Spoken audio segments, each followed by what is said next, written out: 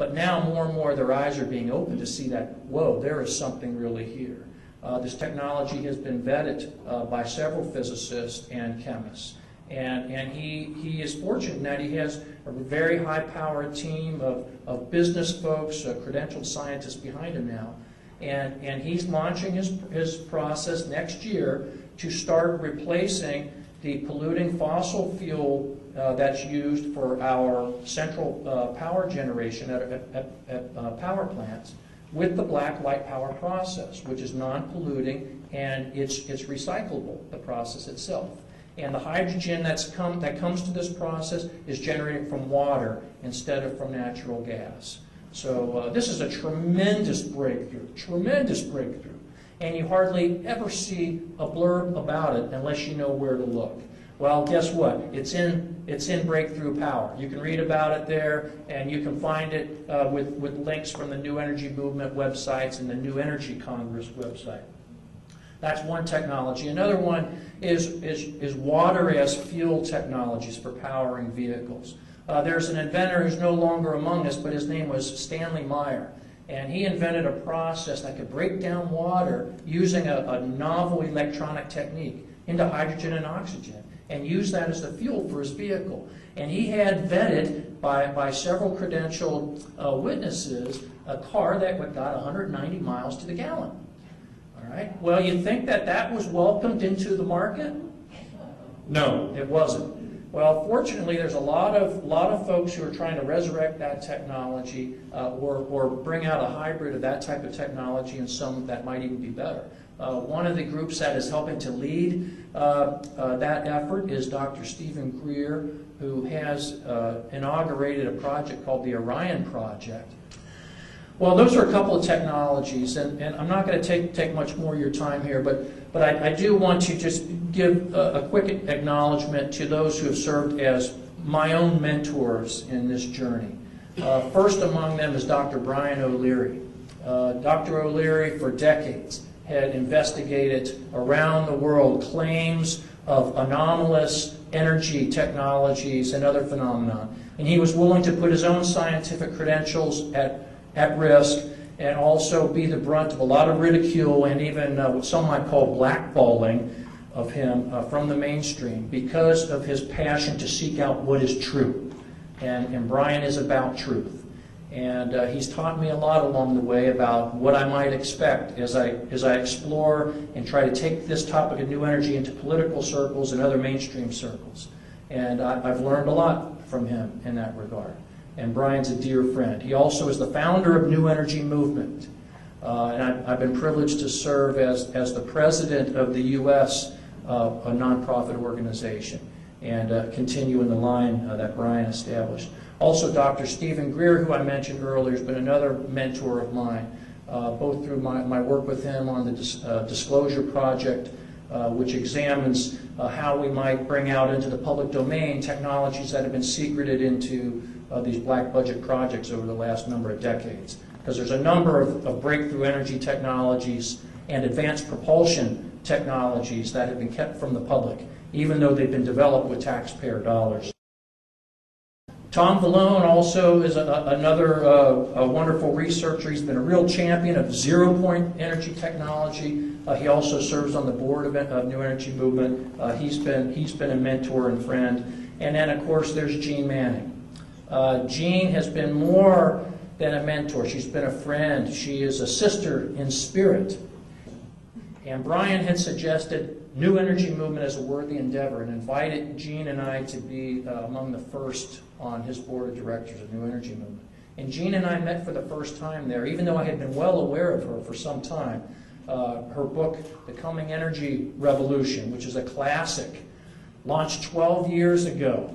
And here we are 12 years later, and, and so much of what she, she revealed and portrayed in that book of, of her vision that these things will come about in, in, the, in, the, in those years between between uh, 1996 and the early uh, new millennium, uh, apparently st we're stymied. But yet here we are again, renewed and with a lot more eyes on it this time. A critical mass, ready to make this happen. And it's going to happen. And Jeane is one of these incredible people who she gives all the, the, the praise and credit to everybody else and, and rarely acknowledges how much she's put into it. And I'll tell you, she's, uh, she's so inspirational to me, and she's a dear sister. And uh, Jeane, I- I'd like you to come up and address everybody and um, let us hear message.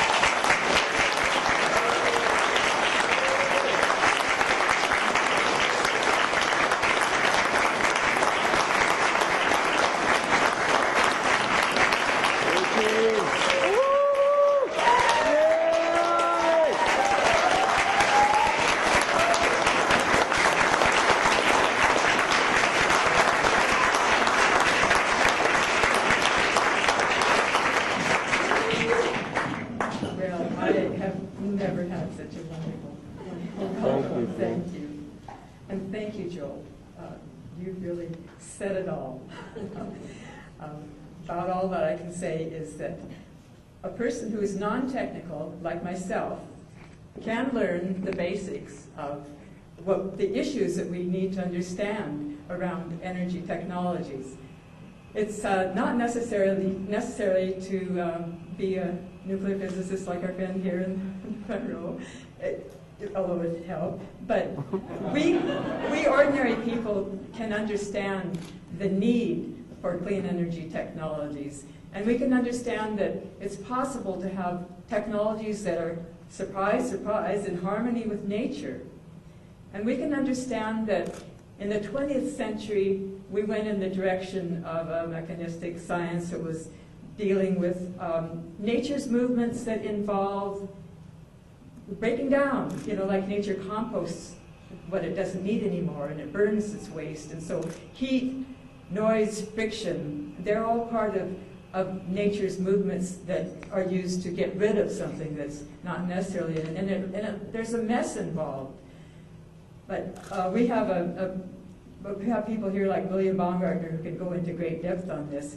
But that's what excited me about the, the whole field, is when I realized that it wasn't just about, you know, better mousetrap, better invention.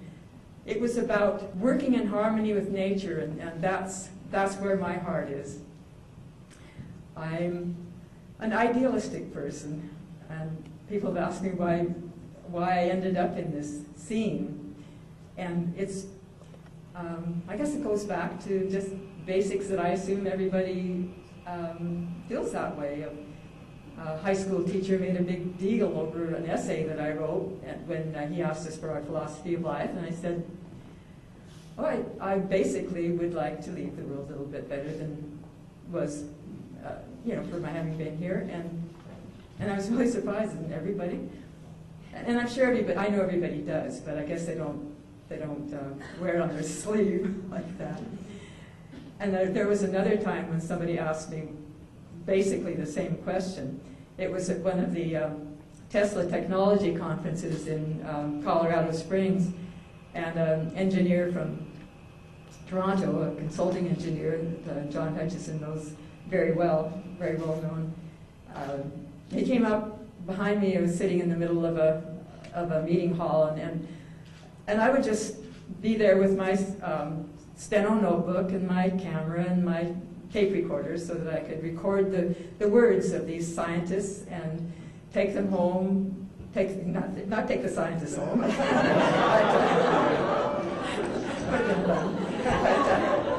um, take the notes home and uh, transcribe the tapes. And in, in the process, I, I learned a lot by transcribing the tapes. And at the time, I was writing articles for a magazine called Explore. The publisher, Christine Jackson, didn't have money to pay me, but she had lots of air miles because she um, back and forth to Germany a lot. So she provided the transportation so that I could go to these international conferences where the experts were speaking, and, and that was the best place to find them all clustered together and, and interview them. It was a lot more efficient than, than uh, traveling to each of their homes and labs, although I did a lot of that too eventually when I had a Canada Council grant for, for travel. Um, so anyway, he, he comes up, to ask me on the shoulder, and, and he said, I asked, what, what does motivate you to come to these? And I kind of realized where he was coming from with the question because I'd heard people's little paranoid stories about industrial spies in our midst and uh,